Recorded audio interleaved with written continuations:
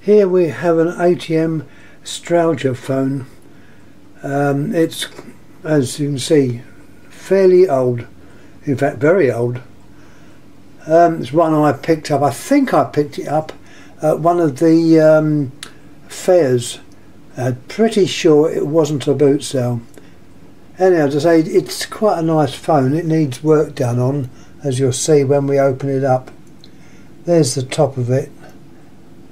Uh, it's Automatic. Um, it's the Automatic Electric Company, ATM. English made. And they were quite a force in telephone manufacture in this country.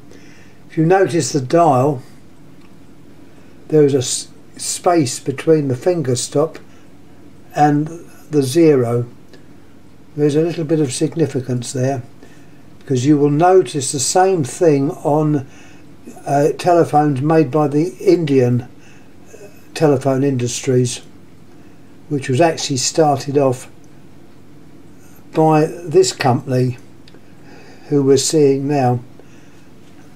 The handset is a normal, what I call a normal handset that would have been fitted to a, a 232 uh, 300 series phone and was the standard for many years. Once again their trademark, the turn it around the right way,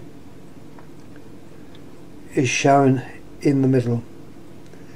This company also at one time made uh, road traffic signals. Um, there was them and the other company was Siemens GEC who made signals um, not the same now. They're probably all computer controlled. But the old ones did use relay systems possibly the same type of relay that you'd find or you had found in a telephone exchange. But this is all old hat now which is a pity only grateful that people are interested in the old stuff. Um, I can remember going through uh, quite a few pictures about lifts and that that, uh, that members have put up. And the consensus of opinion is that it's the old ones that bring in the interest. And so a lot of those use relays. Very old ones, the, the relays were quite enormous. Anyhow, let's have a look inside. As I say, this is one which does need a lot of work done on, it. We can hinge it open. I'm hoping it shows up okay. It's not particularly bright. I've got a light on. You've got your bell circuit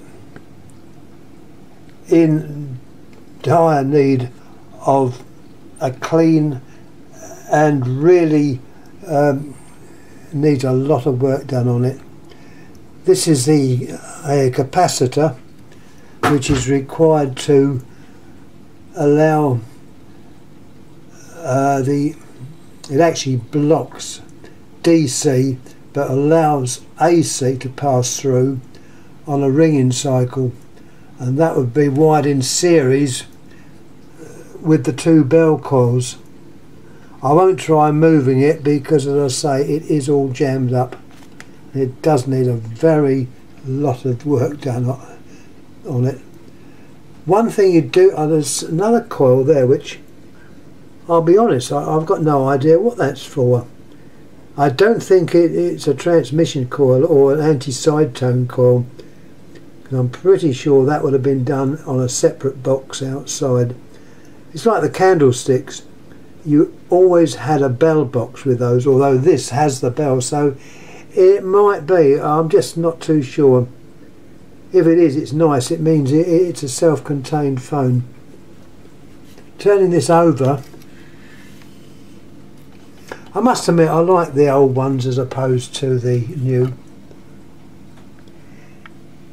I don't know if you can see that, but we've got the dial. I'm going to turn it over so it's in the sun. The sun's just come out.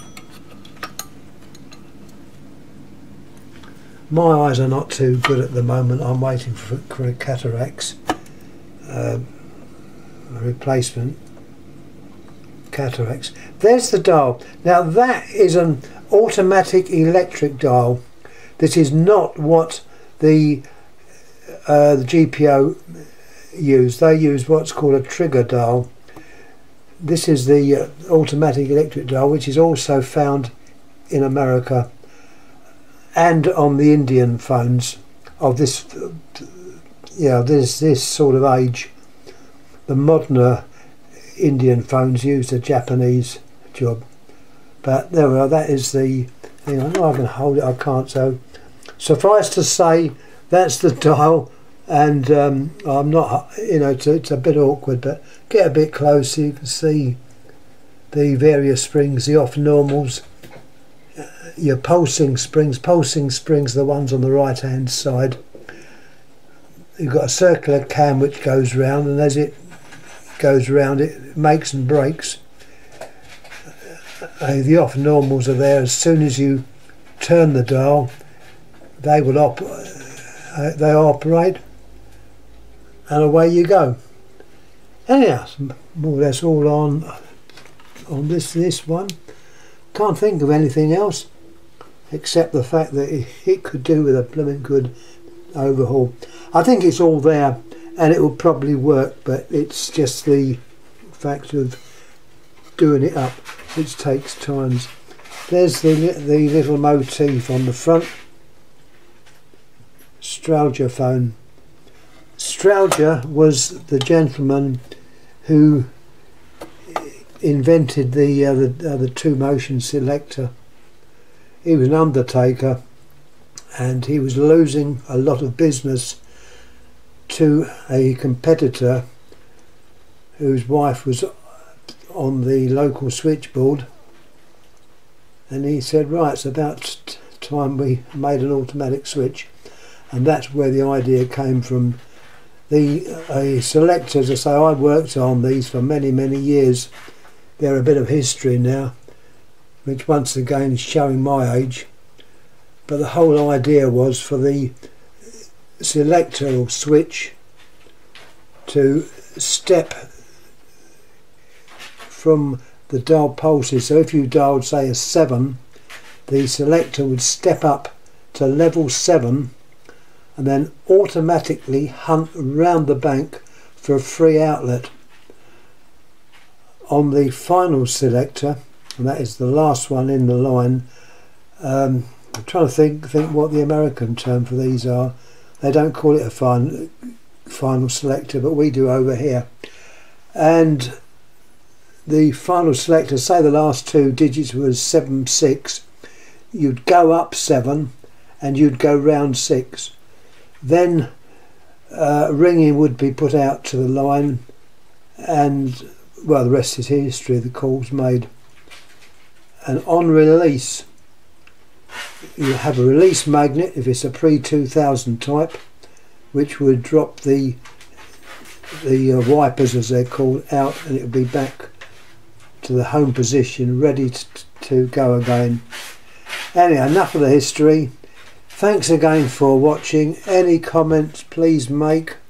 I'll try and answer them uh, it's nice showing these older phones because I'm more interested in the old stuff than, than the new. So there we go. Thanks for watching. Thank you.